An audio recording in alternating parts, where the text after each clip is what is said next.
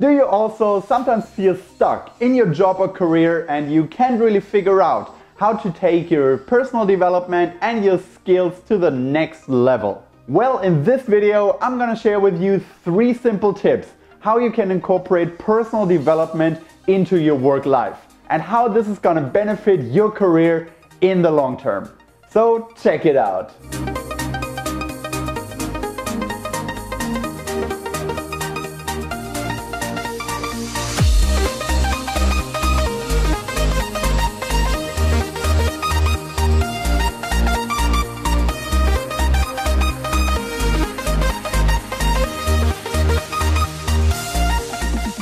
The very first tip that I have for you guys is that you need to have a good attitude towards your work.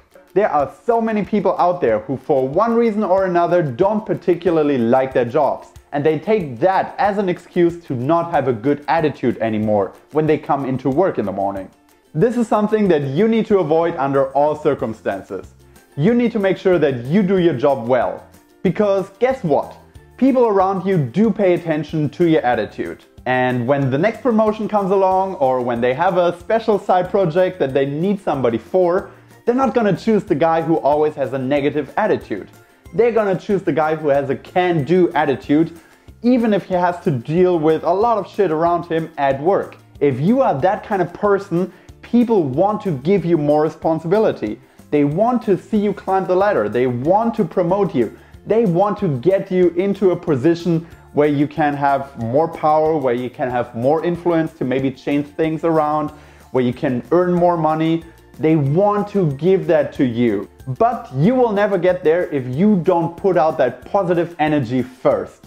And I understand that there are jobs that make that pretty difficult. Trust me, I have worked my fair share of shitty jobs. I worked for McDonald's, I worked in a call center, I did debt collection over the phone. It is not pretty, I get that. But you're gonna go there anyway. You're gonna take money from your employer. So if you have to spend eight hours there every single day anyway, why not make the most out of it? Why not come in with a smile on your face? Why not spread a little bit of happiness amongst your colleagues? And guess what? Good things might come your way if you have a positive attitude towards your work. But if you have a shitty attitude, you will always stay in a shitty situation. I can guarantee you that. Tip number two for personal development at work is that you learn from everyone there. It is pretty easy to get a little bit arrogant when you have worked for a while because you know how your job is done. But guess what? We are talking about personal development and growth here, so you can always improve. You can always grow, you can always get better.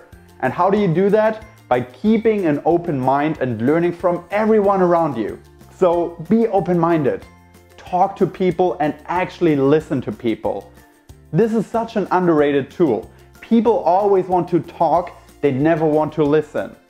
If you become the guy at work who actually listens to his coworkers, to his bosses, to his subordinaries, you will get so much more out of the work that you're doing. I can promise you that.